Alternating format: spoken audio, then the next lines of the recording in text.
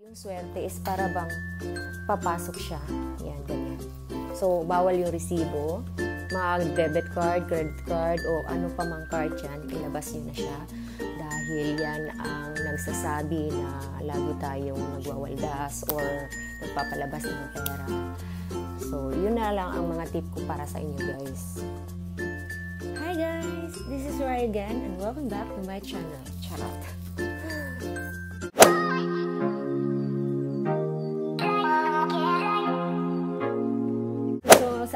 To guys, may isi-share lang ako sa inyo na pampaswerte. Charot, charot. At ang kakailanganin lang natin is wallet at si dahon ng laurel. Kahit tatlo lang. So, ang gagawin ko ngayon guys, isi-share ko sa inyo kasi based on my experience, itong laurel, ang sinasabi nila na pampaswerte daw. At na-experience ko na din to. Ang unang gagawin guys, mag-wish kayo before nyo to ilagay sa inyong pitaka or wallet.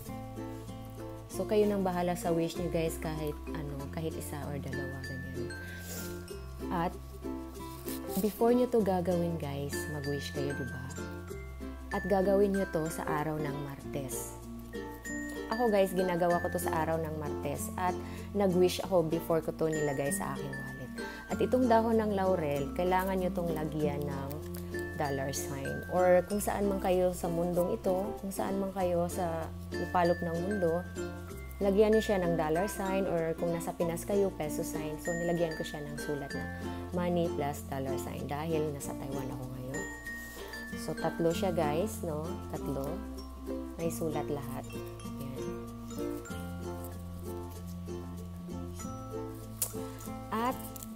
Ilalagay ko to sa aking wallet. Kung saan, andun yung pera.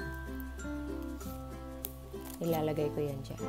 At yung pera nyo guys, example, ito. Itong pera nyo guys, kailangan ang pera, naka-arrange din siya guys. Kunyari ang dollar, andito sa right side. Lahat. Hindi siya pwede yung baliktad-baliktad, yung mga na, nakatupi. Hindi siya pwede. Naka-arrange talaga siya. At ilalagay nyo siya sa wallet nyo. At kailangan siya nakatayo sa wallet nyo guys. Hindi siya pwede yung baliktad-baliktad. Yan. At kung ano man yung pera nyo, yung bills nyo, kailangan hiwalay-hiwalay. Kunyari, yung 100 bills ko, andito din. Naka-arrange yan lahat, guys. Arrange yan lahat. Yan.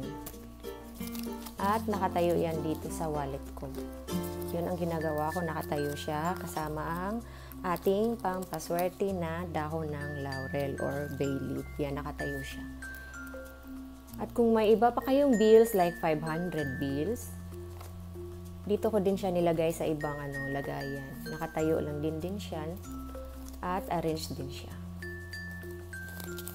At yung wallet na kakailanganin nyo guys, based on my research, ang kulay na wallet na kakailanganin nyo is black, green, red, at brown. So, ang wallet ko ngayon is black. So, depende na sa inyo kung ano yung gusto nyo sa binabanggit kong kulay. At itong dahon na laurel guys, yung iba kasi, pinapalitan nila every Friday. So, sa akin, mas mainam na papalitan nyo siya every Friday para yung swerte, alam nyo, yung swerte mas papasok siya sa ano natin, sa buhay natin. So, itong mga ginagawa ko guys is guide lang to ha.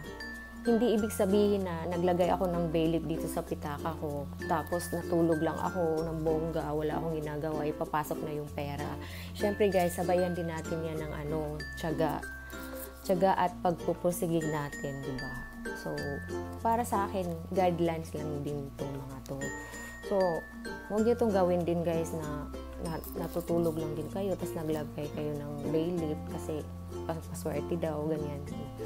Hindi pwede din yung ganun, baka magka-problema lang din kayo. So, sabah, sam, samahan din natin ng prayers guys at ano, tiyaga. Di ba sabi pag may tiyaga, may dilaga. So, bali guys, ginawa ko tong video to para i-share sa inyo kasi sa akin, nagkakatotoo din yung wish ko nito. At sinabayan ko din siya ng prayers. Kaya, depende na sa inyo guys kung maniwala kayo at sa hindi. 'Di ba? Share ko lang to sa inyo yung mga ano ko, mga ano pang good luck or pang pampaswerte. Kaya at then guys, at importante din na yung wallet nyo, pera lang talaga yung na, nakalagay. Yung mga salapi lang talaga yung nakalagay guys tulad dito.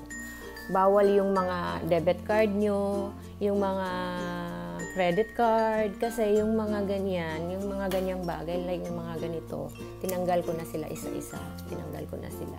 Dahil ito ay, lagi tayo nagpapalabas ng pera kasi nga, saka dito, swipe doon, swipe dito, ganyan. So, kailangan nyo siyang ilabas.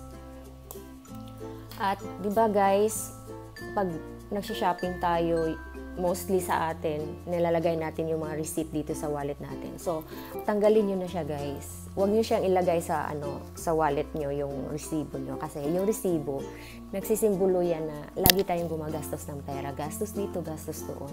So, kailangan, yung salapi lang talaga yung nakalagay sa wallet nyo.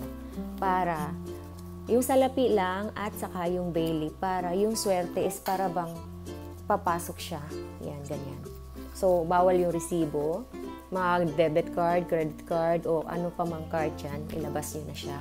Dahil yan ang nagsasabi na lagi tayong nagwawaldas or nagpapalabas ng pera. So, yun na lang ang mga tip ko para sa inyo guys.